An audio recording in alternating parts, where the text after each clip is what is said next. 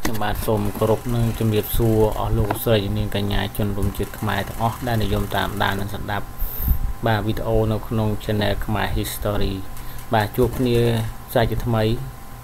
តាមរយៈវីដេអូថ្ងៃនេះគឺខ្ញុំបាទនឹងលើកយកវីដេអូមួយចង់បង្ហាញឬក៏ចង់ចែកចម្លែកទៅអ្នកទាំងអស់គ្នាជាពិសេសគឺបណ្ដាមិត្តភ័ក្តិអស់ដែលនិយមទស្សនានិងស្ដាប់វីដេអូនៅក្នុង Channel ខ្មែរ History តាមបណ្ដាញសង្គម YouTube ឬហៅកាត់ថា YT បាទលោកអស់លោកឧស្រីនាងកញ្ញាជាទីគោរពនិងជាទីរាប់អានវីដេអូដែលខ្ញុំនឹងលើកយកចែករំលែកទៅដល់អ្នកគ្នាថ្ងៃនេះគឺតកតងទៅនឹងអត្តន័យនៃព្រះនាមរបស់ព្រះបាទនរោត្តមឬក៏ហៅថាព្រះចៅកាប់ព្រះចៅក្រុងកម្ពុជា បាទព្រះចៅក្រុងកម្ពុជានេះយើងតែងតែសង្កេតឃើញនៅដែលបោះពុំនៅលើក្រដាសប្រាក់បាទក្រដាសប្រាក់នៃប្រជាជាតិកម្ពុជាឬក៏អាចហៅម្យ៉ាងទៀតថារូបិយប័ណ្ណនៃរបស់ប្រទេសកម្ពុជាបាទដែលមានដាក់ប្រជាអឺប្រជាក្រុងកម្ពុជានេះបាទបាទតើមូលហេតុអីបានជាអឺអត្តន័យ នៃពនាមរបស់ព្រះបាទនរោត្តមព្រះចៅក្រុងកម្ពុជានេះគឺត្រូវបានគេដាក់ដូចយ៉ាងដូចនេះទៅវិញបាទដូច្នេះមានតែបងប្អូន បាទតាមដាននិងស្ដាប់ទស្សនាជាមួយនឹងខ្ញុំបាទក៏ប៉ុន្តែខ្ញុំបាទក៏សូមធ្វើការអភ័យទោសទុកជាមុនរាល់កំហុសឆ្គងបាទរបស់ខ្ញុំនៅពេលដែលអានអក្ខរាវិរុទ្ធឬក៏ធ្វើការអធិប្បាយមិនសមគួរកន្លែងណាមួយសូមមេត្តាខមមិនខាងក្រោមវីដេអូដើម្បីធ្វើ ការកែលម្អហើយបើសិនជាបងប្អូនគិតថាវីដេអូនេះល្អឬក៏ព័ត៌មាននេះល្អដើម្បីចង់ចែករំលែកបាទចង់ចែករំលែកទៅកូនចៅចំនួនក្រោយសូមមេត្តា share នៅវីដេអូនេះបានច្រើនផងដែរបាទអញ្ចឹង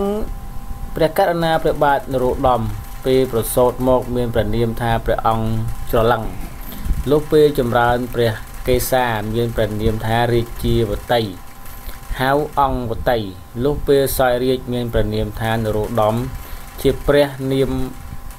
បញ្ញត្តិការទ្រង់សាងប្រធ្នោះព្រះភ្នោះនៅស្រុកសៀមទើបឯកសារខ្លះក៏ត្រាថាព្រះនាមនរោត្តមនេះគឺព្រះចៅក្រុងសៀមជាអ្នកថ្វាយបាទអញ្ចឹងគឺមានអត្ថន័យអញ្ចឹងណាបាទសូមបញ្ជាក់ថាអត្ថបទនេះគឺដកស្រង់ចេញពី Cambodia Express News ហៅកាត់ CN បាទ បាទនេះគឺតំអាងទៅលើបាទតំអាងទៅលើគេហទំព័ររបស់ Cambodia Express News បាទព្រះករុណាព្រះបាទនរោត្តមប្រសូតនៅថ្ងៃសៅរ៍12កើតខែមិញឆ្នាំមមេសពស័កគ្រិស្តសករាជ1831នាខេត្តមង្គលបុរីសពថ្ងៃស្រុកអង្គលបុរីខេត្តបាត់ដំបងជាបុត្រនៃអ្នកមនាងប៉ែននិងព្រះករុណាអង្គឌួង កាលទៅប្រសូតព្រះបរមរាជបិតាគឺព្រះបាទអង្គឌួងទ្រង់សពព្រះតីនិងបុត្រាអង្គនេះណាស់ហើយបានប្រទានព្រះនាមថាព្រះអង្គច្រឡឹងភាសាខ្មែរពាក្យថាច្រឡឹងមានន័យថា ដែលមានរាងតូចស្អាតសមឥតទាស់ភ្នែកបាទបើតាមឯកសារមហាបុរសខ្មែររបស់លោកអេងសុតបានឲ្យដឹងថានៅពេលព្រះអង្គច្រឡឹងប្រសូតមក អ្នកបំរើបានយក សុកទៅកប់មិនយូរថ្ងៃប្រមាណក៏បង្កើតជាហេតុអស្ចារ្យមានដើមពូមួយដើមដុះនៅកន្លែងកប់សុកនោះ អ្នកខេត្តមង្គលបុរីនាំគ្នាហៅថាពូលួងបាទពូលួងរហូតមកដល់សពថ្ងៃលុះដល់ខែពិសាខឆ្នាំមមេសពស័កពុទ្ធសករាជ2391ត្រូវនឹងគ្រិស្តសករាជ1847ព្រះករុណាអង្គឌួងបានរៀបចំចម្រើនព្រះកេសា ព្រះអង្គម្ចាស់ច្រឡឹងហើយប្រទាននាមថារាជាវតីឬក៏រាជាវតីបាទហើយជួនកាលត្រូវគេហៅថាព្រះអង្គវតីឬអង្គវតីទោះជាព្រះបុត្រាអនាគតក្សត្រខ្មែរបាទក្សត្រខ្មែរអង្គនេះ មានព្រះនាមជាផ្លូវការថារាជាវតីក្តីក៏គេនៅតែហៅព្រះនាមថាច្រឡឹងដដែល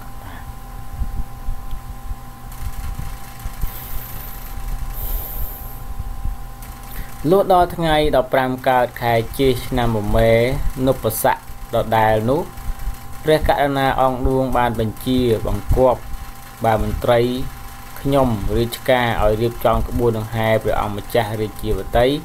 ទៅសាងភ្នោះជាសាមណេរក្នុងក្នុងសំណាក់ព្រះមហាសតព្រះព្រះមហាសង្ឃរាជនូនាវត្តក្រាំងពន្លៃក្រុងឧដុង្គមានជ័យហើយទ្រង់រាជបញ្ញត្តិវត្តនោះថារាជបុព្វជិត តាំងពីពេលនោះមកលុះចេញព្រះវសាទៅព្រះអង្គលាចាកសិក្ខាបទមកវិញខែអាសាឍឆ្នាំរោងអត្តស័ក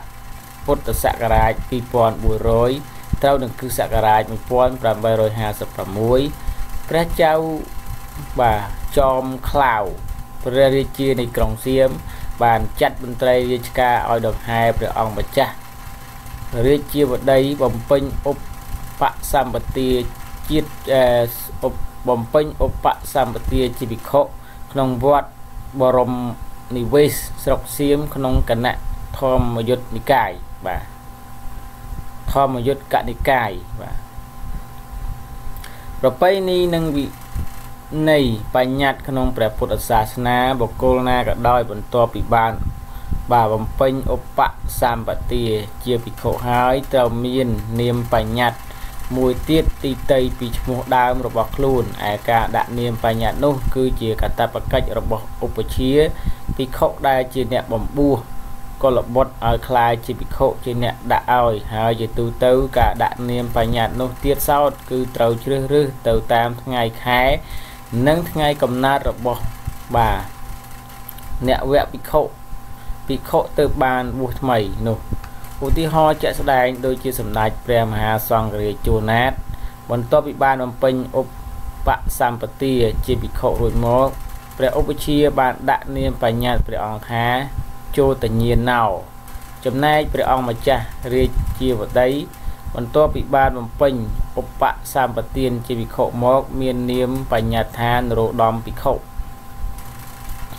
អត្តន័យក្នុងភាសាបាលីពាក្យថានរោត្តមមកពីពាក្យថានរៈ បាទប្រែថាមនុស្សជនបាទបកុលសំដៅដល់មនុស្សប្រុសបាទអញ្ចឹងប្រែបានថាពាក្យថានរោត្តមហ្នឹងគឺមកពីពាក្យបាលីថានរៈនរៈហ្នឹងបើយើងប្រើសម្រាយជាភាសាធម្មតាមកគឺថាប្រែថាមនុស្សជនឬបុគ្គលបាទសំដៅទៅលើមនុស្សប្រុសទៀតឧត្តមនេះគឺប្រសើរបាទយើងអាចប្រែថាប្រសើរពងខ្ពស់ឬក៏ថ្លៃថ្លាអញ្ចឹងយើងយើងចេះយើងចេះពាក្យណាពាក្យខ្មែរបាទឧត្តមឧត្តមណាព ងពោះប្រសើរថ្លៃថ្លាបាទបូកបញ្ចូលគ្នាទៅពាក្យថានរោត្តមដែលជាព្រះនាមបញ្ញត្តិនៃព្រះភិក្ខុរាជាវតីនេះប្រែថាបុគ្គលឬជនដ៏ប្រសើរបុគ្គលឬដ៏ជនដ៏ពងពោះបុគ្គលឬជនថ្លៃថ្លាព្រះនាមបញ្ញានេះត្រូវបានដាក់ថ្វាយដោយគិតតាមថ្ងៃខែនិងឆ្នាំប្រសូតរបស់ព្រះអង្គម្ចាស់រាជាវតីភិក្ខុដោយគិតតាមបាទ កតិព្រះពុទ្ធសាសនានាធម្មយុទ្ធកនិកាយព្រះករុណាអង្គឌួងបានសោយទីវង្គតនៅថ្ងៃ5កើតខែកដឹកឆ្នាំមមែពុទ្ធសករាជ2403ត្រូវនៅថ្ងៃទី12ខែវិច្ឆិកាគឺសករាជ1859បន្ទាប់ពីបានសោយរាជរយៈពេល19ឆ្នាំក្រុមប្រឹក្សាសេនាបតីមន្ត្រីជាន់ខ្ពស់បានជំនុំពិភាក្សាគ្នាជ្រើសរើសព្រះអង្គម្ចាស់ រាជាវតីដែលកំពុងមានឋានៈជាមហាឧបរាជបាទឧបរាជបាទមហាឧបរាជស្រាប់ផងក៏ឲ្យឡើងសោយរាជបន្តព្រីព្រះបិតាតាមបណ្ដាំរបស់ព្រះរាជសពបាទព្រះរាជសព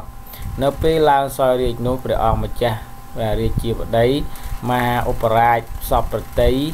និងព្រះនាមនរោត្តមជានាមបញ្ញត្តិការព្រះអង្គចូលបំពេញឧប សម្បទាគេក៏បានថ្វាយព្រះនាមព្រះព្រះនៅនៅវរាជស្ដេចថ្មីអង្គនេះថាសម្ដេចព្រះនរោត្តមព្រំបាទបរិរៈហើយក៏ត្រូវបានគេស្គាល់ព្រះនាមខ្លីថាព្រះបាទនរោត្តមតរៀងមកឯកសារខ្លះបានអះអាងថាព្រះនាមនរោត្តមនេះជាព្រះនាមដែលព្រះចៅចោមក្លាវនៃប្រទេសសៀមជាអ្នកថ្វាយ ប៉ុន្តែតាមប្រពៃណីព្រះពុទ្ធសាសនាបុគ្គលទីតីពីគ្នាពីព្រះឧបជាទោះបុគ្គលនោះមានឋានៈអុជាអ្វីក៏ដោយក៏ពុំមានការកតបកិច្ចដាក់នាមបញ្ញត្តិនេះដល់ភិក្ខុដែលទើបបានបួសនោះឡើយទោះជាយ៉ាងណាបាទវិភាគទៅលើបាទបរិបទសាសនាទៅនឹងសម័យកាលនោះយើងអាចសន្និដ្ឋានបានថាដោយសារព្រះអង្គ ម្ចាស់រាជាវតីជាមនុស្សក្នុងរាជវង្សហើយត្រូវបានព្រះរាជាសៀមជាអ្នកបញ្ជូនបាទចូលបួសផងនោះជាហេតុនាំឲ្យឧបជាមានភាពស្ទាក់ស្ទើរមិនហ៊ានអាកាត់ដាក់នាមបញ្ញត្តិដល់បាវិដល់ភិក្ខុដែលដល់នវៈភិក្ខុនេះតែអង្គឯងនោះឡើយទើបបន្ទាប់ពីបានសម្រិតសម្រាំងនាមបញ្ញត្តិបញ្ញត្តិមកក៏បាននាំយកទទួលសុំការព្រមព្រៀងសពព្រះរាជតីពីព្រះរាជាក្រុងសៀមគឺព្រះចៅចោមខ្លាវផងដែរប្រហែលជាដោយប្រការនេះឯងហើយទើបបានជាមានឯកសារខ្លះហ៊ានអះអាងថាព្រះនាមនរោត្តមនេះគឺជានាមដែលត្រូវបានថ្វាយដោយព្រះចៅចោមខ្លាវនៃក្រុងសៀម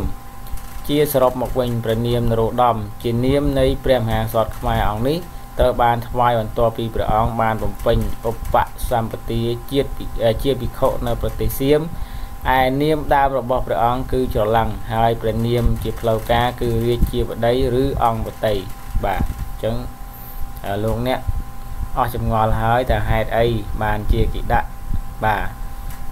អត្តព្រះបាទនរោត្តមហ្នឹងព្រះនាមរបស់ព្រះបាទនរោត្តមជាព្រះចៅក្រុងកម្ពុជាអញ្ចឹងព្រះចៅក្រុងកម្ពុជានេះគឺយោងតាមឯកសារគឺព្រះចំគឺបាទគឺព្រះអង្គចំចំខ្លាវបាទចំ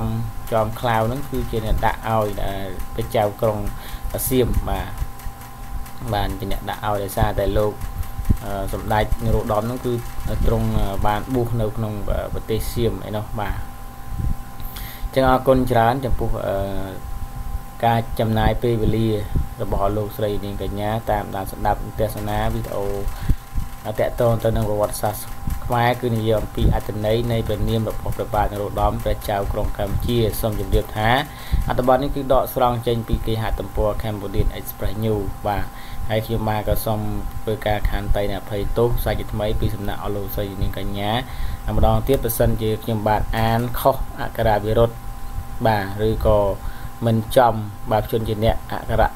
ណាមួយនោះសូមមេត្តាខន្តីអភ័យទោសចិត្តមុននឹងបញ្ចប់ខ្ញុំបាទឆ្លៀតឱកាសនៅពេលនេះគឺសូមគោរពជូនពរជូនជ័យសិរីសួស្តីបាទដល់បងប្អូនអស់លោកស្រីនាងកញ្ញាជនរួមជាតិទាំងអស់ បាទឲ្យជួបប្រទះតែសេចក្តីសុខដីចម្រើននៅក្នុងឱកាសបុណ្យចូលឆ្នាំថ្មី ដែលនឹងចូលមកដល់នៅថ្ងៃទី14 15 16ខែមេសាឆ្នាំ2019ខាងមុខនេះបាទបាទឲ្យហើយជាពិសេសហ្នឹងគឺទទួលទានរកទទួលទានមានបានផងដែរបាទដាក់ពេលនេះគឺខ្ញុំបាទសូមអរគុណសូមជម្រាបជួបគ្នានៅវីដេអូបន្តបន្តទៀតបាទ